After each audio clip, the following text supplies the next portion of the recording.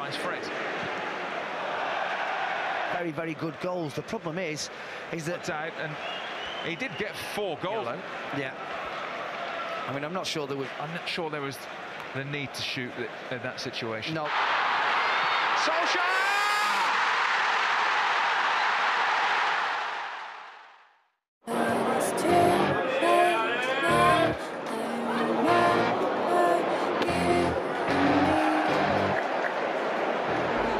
Fred kali ini tampil jeblok saat Manchester United dikalahkan Brighton and Hove Albion.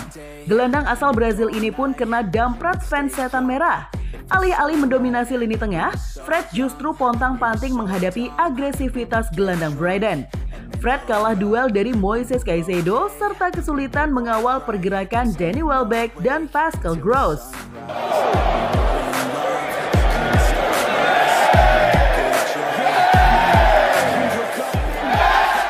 Permainan yang jeblok ini ditambah sikap Fred yang ngotot dan tidak mendengarkan arahan Erik Ten Hag. Dirinya diperintahkan Erik Ten Hag untuk bermain umpan-umpan pendek. Namun Fred terus memaksakan kehendaknya untuk melepaskan tembakan keras. Berharap sepakannya masuk ke gawang dengan mudah.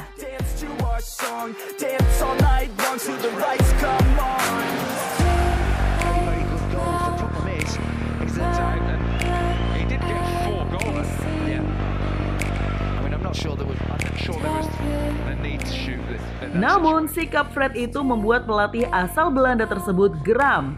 Aksi nekat Fred itu mendapatkan komentar dari Erik Ten Hag.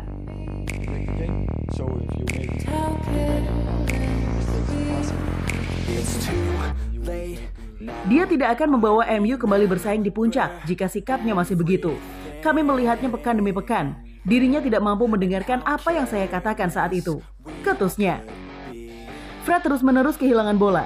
Dirinya membawa bola dalam serangan ketika Sancho dan Rashford ada di depannya. Dia mestinya mengoper bola itu ke Erikson.